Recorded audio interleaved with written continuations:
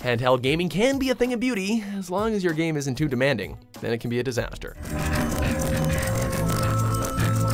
Welcome to WatchMojo.com, and today we're counting down our picks for the top 10 worst handheld ports. Before we begin, we publish new videos every day, so be sure to subscribe for more great content.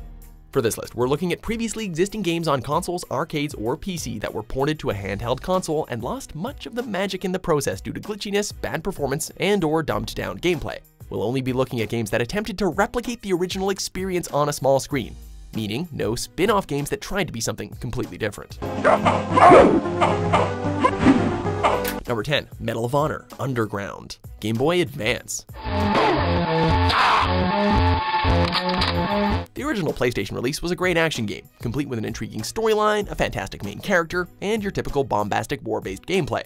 Well, it was bombastic at the time. Anyway, two years later, the GBA version was released, and it tarnished the Underground name forever. It had legitimately terrible graphics to the point where you couldn't even tell what you were looking at. Obviously bad frame rate problems, and a horrible disconnect between pressing buttons and your character's action on screen, which eliminated any sense of immersion you might have had, if you really used your imagination. Number 9. Hyrule Warriors Legends, Original 3DS.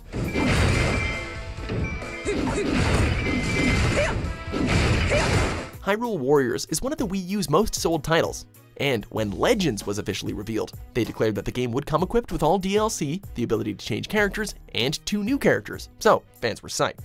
Until it was released, of course. It wasn't a complete disaster by far, but it's painfully obvious that the original 3DS just wasn't up to the task. Textures look terrible, the frame rate hovers around 20 FPS, enemy numbers were significantly reduced, and there's pop-in everywhere. Fortunately, if you had the new 3DS, the game runs fine, but for the tens of millions of people with the older tech, this was unacceptable. Seriously, why wasn't this game a new 3DS exclusive?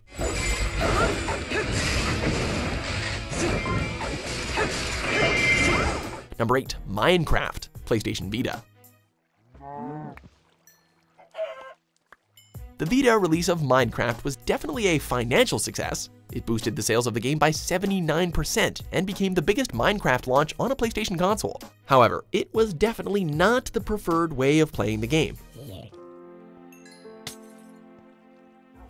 Players experienced significant frame rate drops and crashes upon launch, and the world size was much smaller than the one featured in PC or even on consoles. While some could handle these imperfections, the most detrimental factor was a save corruption bug, which would delete your progress if you manually saved your game while it was quick saving. While it's a fun little handheld addition, this was a serious bug that severely hurt the response of the Vita release. Number 7. Jak and Daxter Collection, PlayStation Vita. Uh, we won't find any more of that dark gooey eco stuff, will we? Cause I'd hate to fall in again and turn into you. Get in there! The Jak and Daxter platformers are some of the greatest games on the PS2, so when a handheld version was announced, it gave old and new players alike the chance to experience the magic again. And by magic, we mean of course terrible frame rate drops, really awkward controls, simplified textures, and sound glitches.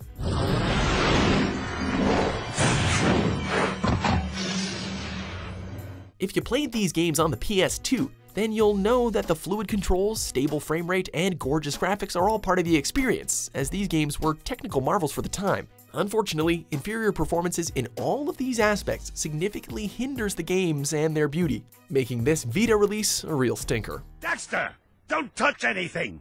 Though the precursors vanished long ago, the artifacts they left behind can still do great harm. Number 6. Bioshock, Apple iOS. Bioshock was one of the best games of the last generation, and while the iOS release wasn't a total failure, it was very disappointing. You're gonna have to trust me. The controls were absolutely miserable. The game's graphics were also terribly downgraded to the point where the atmospheric immersion was basically lost. Think of that iconic scene where you see Rapture for the first time and you're instantly transported to another world. Well, the magic is completely lost on iOS due to the gray and blurry textures. If that wasn't all, the game was eventually pulled from the App Store due to performance issues after numerous iOS upgrades. You definitely need to experience this game, but certainly not on a phone. Number 5. Earthworm Jim, Game Boy Advance. Despite being released seven years after the original SNES and Genesis version, the Game Boy Advance port of Earthworm Jim was significantly worse, which is just embarrassing for all those involved. Despite the handheld's extra power, it still ran incredibly poorly, complete with terribly dated graphics, poor animation, horrific sound effects, and broken physics.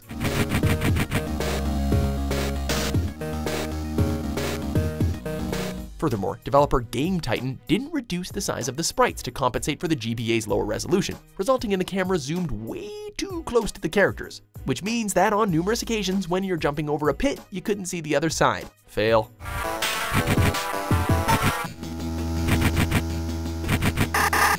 Number 4, Borderlands 2, PlayStation Vita.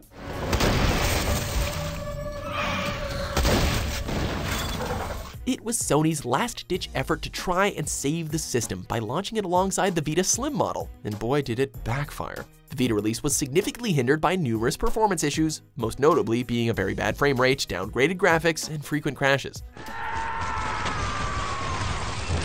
The frame rate dropped so much at certain times that fans found it almost unplayable, and the game would constantly crash, giving those players who had soldiered through the molasses-like gameplay no incentive to continue. So you gotta hijack a train, huh? Child's play. The co-op was also reduced to two players rather than the original four, taking out a large swath of what made the console and PC versions so fun and inviting. Running, running, running, I'm running over here. Run, run, run, run, run. Number 3, Mortal Kombat Advance, Game Boy Advance.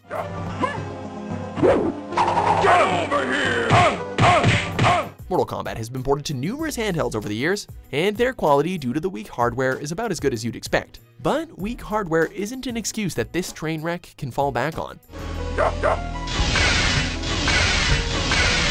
Infamous for being one of the worst ports ever, this game was unplayable from the beginning due to broken hitboxes and ludicrous AI. Combatants were either extremely stupid or frustratingly difficult and cheap, pulling off stunts and moves that you can never dream of and wiping the floor with you in the process. Even if you could fight your way through the game, look at how pathetic these fatalities are. Were you guys even trying? Come on. Fatality. Number 2, Myst, Nintendo DS and Nintendo 3DS.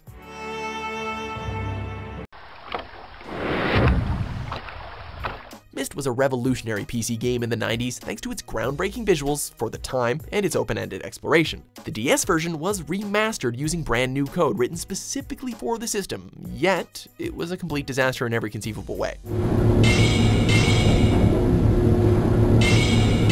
Issues ranged from poor sound quality, terrible visual compression, text that was hard to read, and without a visible mouse cursor, it was impossible to figure out what was actually clickable.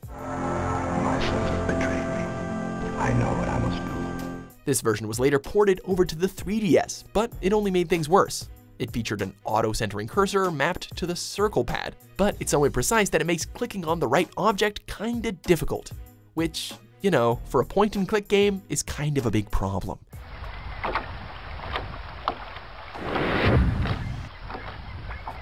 Before we unveil our number one pick, let's have a look at these dishonorable mentions.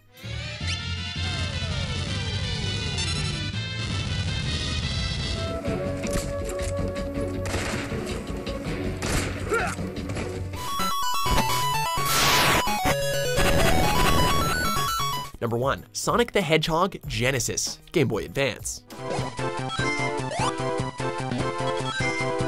Honestly, how could Sega mess this up so bad? Fans were excited for this port because of the GBA's superior power, it had 15 years worth of technological advancements behind it, and it featured Sonic's Spin Dash, which wasn't accessible in the original. Unfortunately, it was a travesty in every way.